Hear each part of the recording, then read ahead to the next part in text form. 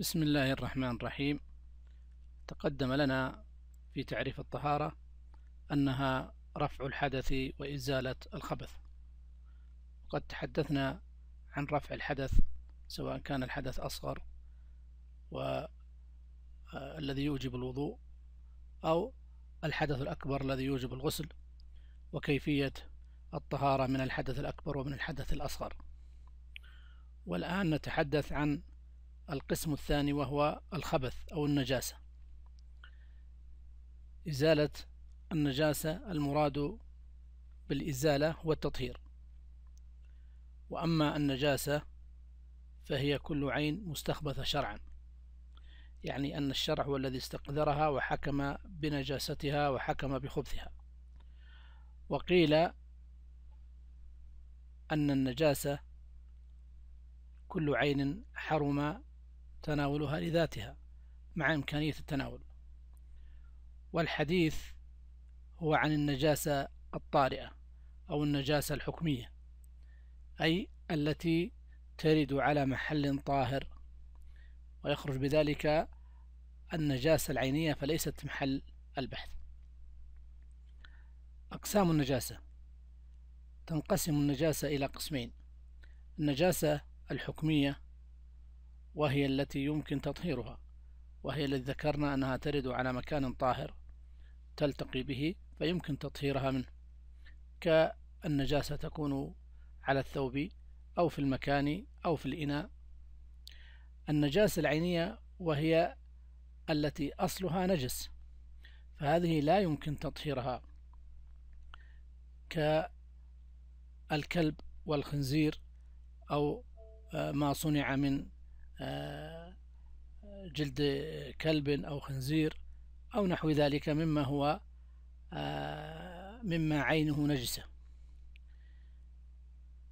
ما, ما الأصل في تطهير النجاسات الحكمية أو النجاسة الحكمية أو الخبث الحكمي؟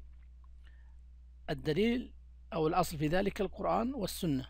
فأما القرآن فقوله سبحانه وتعالى إن الله يحب التوابين ويحب المتطهرين. فيدخل في ذلك الطهارة من الحدث ويدخل كذلك الطهارة من النجس والخبث. وقوله سبحانه وتعالى وثيابك فطهر فيشمل كذلك التطهير من النجاسات والأخباث. وأما السنة فالسنة ما ورد في قص في قصة الأعرابي الذي بال في المسجد فدعا النبي صلى الله عليه وسلم بذنوب من ماء فأهريق عليه. كيفية الطهارة؟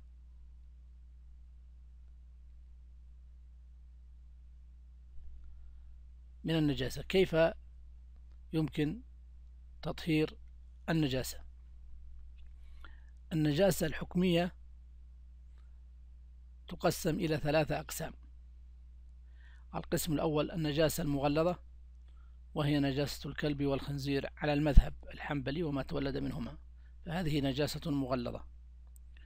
والتطهير منها يكون بأن تغسل هذه النجاسات سبع مع التراب أو ما يقوم مقام التراب.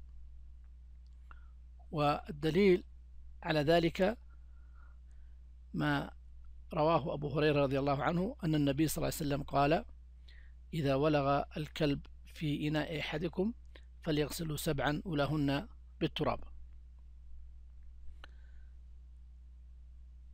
أما إذا كانت على الأرض إذا كانت هذه النجاسة المغلظة على الأرض فإنه يصب عليها من الماء حتى تذهب عين هذه النجاسة ويذهب أثرها. ويستدل آه، على ذلك بقصة الإعرابي الذي سبق ذكره أنه بال في المسجد فدعا النبي صلى الله عليه وسلم بذنوب ما فهريق عليه حتى ذهب بعينه. فلا بد من إزالة عين النجاسة ثم إتباع ذلك الماء. حتى يذهب أثرها. القسم الثاني النجاسة المخففة. والنجاسة المخففة وردت في بول الصبي الذي لم يأكل الطعام فخرج بذلك بول الأنثى وإن كانت لم تأكل الطعام. والغائط فإنه وإن كان من الصبي الذي لم يأكل الطعام فإنه لا يعتبر من النجاسة المخففة. الأصل في هذه النجاسة المخففة هو ما جاء عن النبي صلى الله عليه وسلم أن أم قيس أتت بابن لها صغير لم يأكل الطعام إلى رسول الله صلى الله عليه وسلم فأجلسه في حجره صلى الله عليه وسلم. فبال هذا الصبي الصغير الذي لم يأكل الطعام فبال على ثوبه صلى الله عليه وسلم فدعا بماء فنضحه ولم يغسله. فكيفية الطهارة من هذه النجاسة المخففة؟ أنه يرش ويغمر بالماء آه، بما لا يؤدي إلى جريان الماء. وهذا مقتصر على بول الصبي الذي لم يأكل الطعام فخرج بذلك بول الأنثى وإن كانت لا تأكل الطعام وإن كانت لم تأكل الطعام لا زالت صغيرة وخرج بذلك الغائط من الجميع فإن ذلك لا بد من غسله ولا يكون من نجاسة مخففة. وهذا القسم استدل له بهذا الحديث بحديث آه، أم قيس حينما جاءت بابنها إلى النبي صلى الله عليه وسلم وبال على ثوبه ونضحه بالماء. القسم الثالث النجاسة المتوسطة التي هي بين المغلظة وبين الخفيفة. وهذه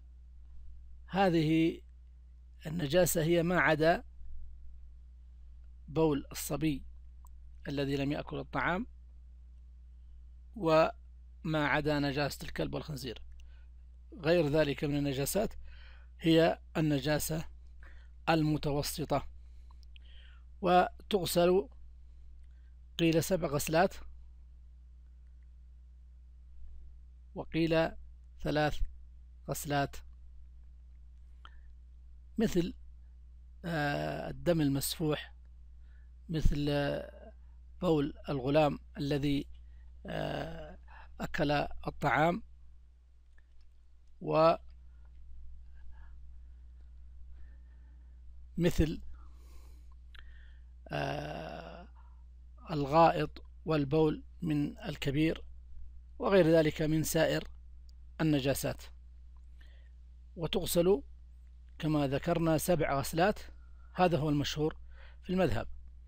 وقالوا آه، أن ذلك يدل عليه ما جاء عن ابن عمر رضي الله عنهما. قال أمرنا الرسول صلى الله عليه وسلم بغسل الأنجاس سبعا. وقيل ثلاث غسلات منقية وذلك كما هو في آه، آه، الاستنجاء والاستجمار. الاستجمار أنه يكون وترا ثلاثا أو خمسا فقالوا أقل الغسلات المنقية ثلاثا. والراجح آه، والله أعلم أنها تغسل هذه النجاسة حتى تزول تماما سواء أخذت وترا ثلاثا أو خمسا أو سبعا أو عشرا. فالمهم أنها تزول هذه النجاسة ويذهب أثرها. هذا والله أعلم.